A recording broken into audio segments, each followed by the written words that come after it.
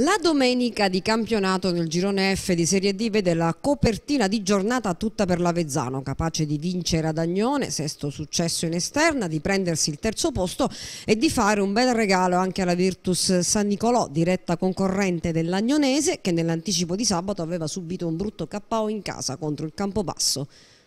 I biancoverdi hanno scavalcato la Vastese, oramai in caduta libera, alla sesta sconfitta nel girone di ritorno, quarta consecutiva, e che non riesce davvero a rimettersi in carreggiata.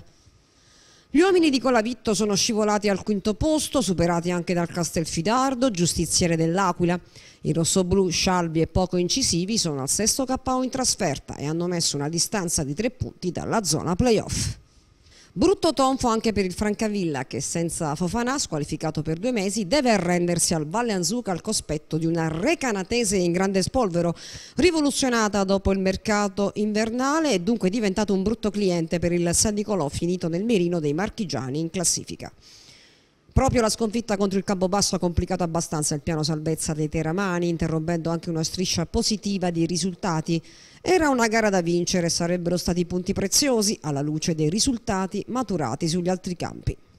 I ragazzi di Montani non hanno comunque latitato a livello di gioco e neanche a livello di grinta e carattere. La cura del nuovo tecnico si fa sentire e la compagine biancazzurra potrà dimostrarlo già domenica prossima contro la Jesina in quello che sarà un vero e proprio scontro diretto al Carotti. I biancorossi, affondati in rimonta a Pesaro per 2-1 e che in casa hanno un andamento altalenante, saranno comunque con il dente avvelenato.